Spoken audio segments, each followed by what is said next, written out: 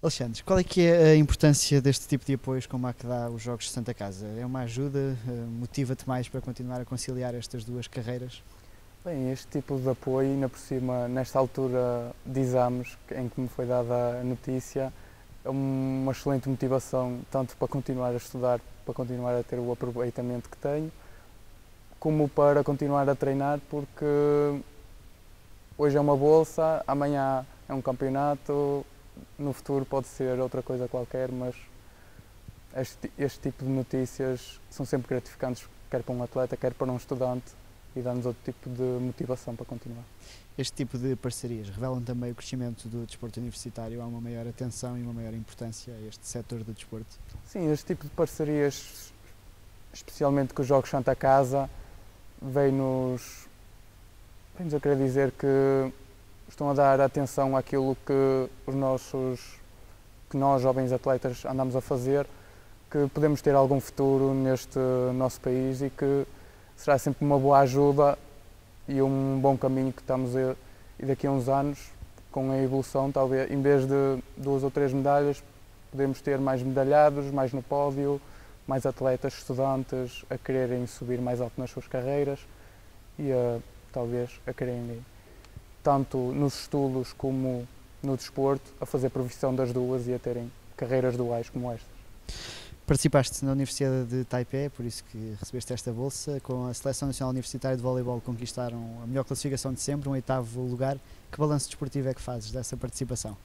Balanço desportivo ótimo, positivo, excelente. Há 14 anos que o voleibol não ia a este tipo de competições, muito menos a, uma, a umas universidades que equipara-se no valor de umas Olimpíadas.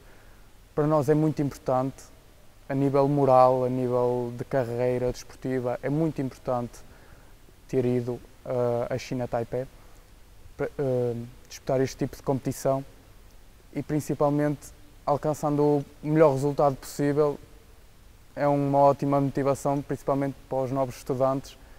Agora venham e façam melhor, porque o nosso trabalho foi feito, daqui a dois anos, se pudermos, vamos tentar fazer melhor.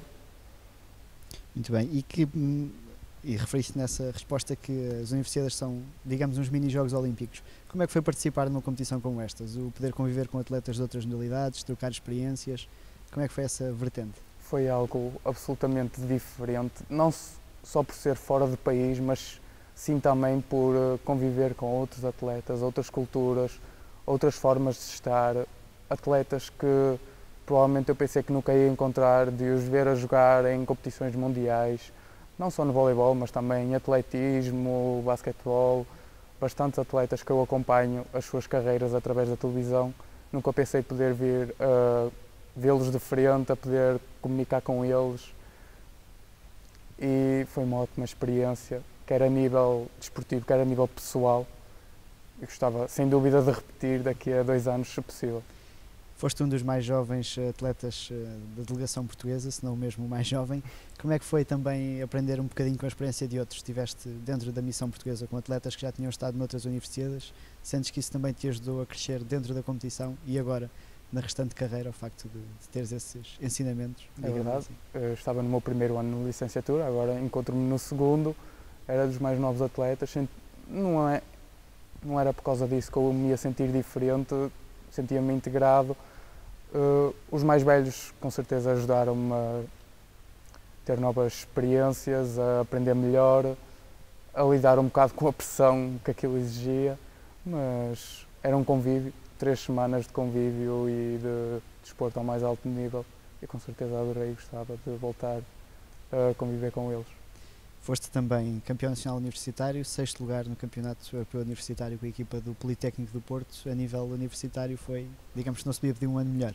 Sim, eh, conseguimos alcançar o título de campeão nacional, fizemos o melhor resultado possível da equipa do Politécnico do Porto, já igualando o anterior resultado feito por outra universidade de Portugal, mas é o melhor resultado até agora num campeonato europeu de voleibol foi um balanço extremamente bom para o meu primeiro ano de universidade.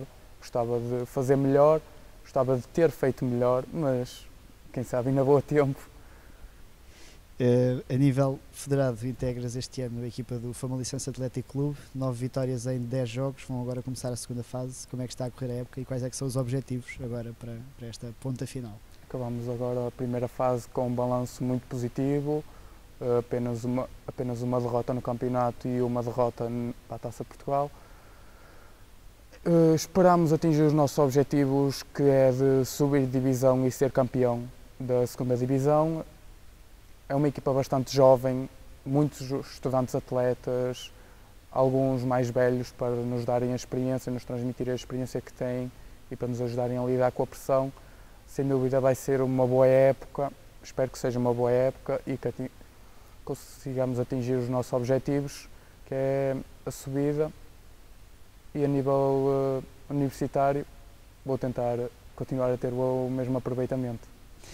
Ter sido campeão nacional nos escolhões de formação ajuda-te agora a enfrentar esta fase de sénior com outra experiência?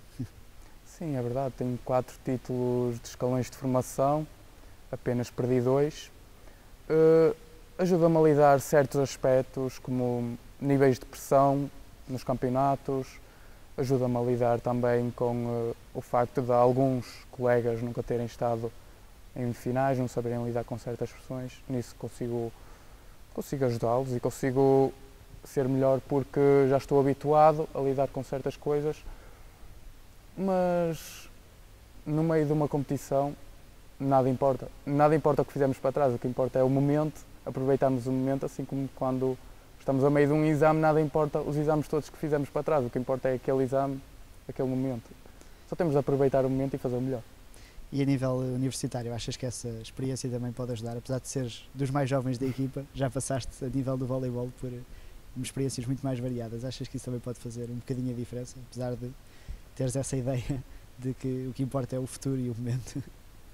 Sim, posso ter, posso dizer que já tive esta experiência, que já estou, já estou familiarizado com esta experiência, que Agora posso lidar com novos aspectos que possam vir, novas competições.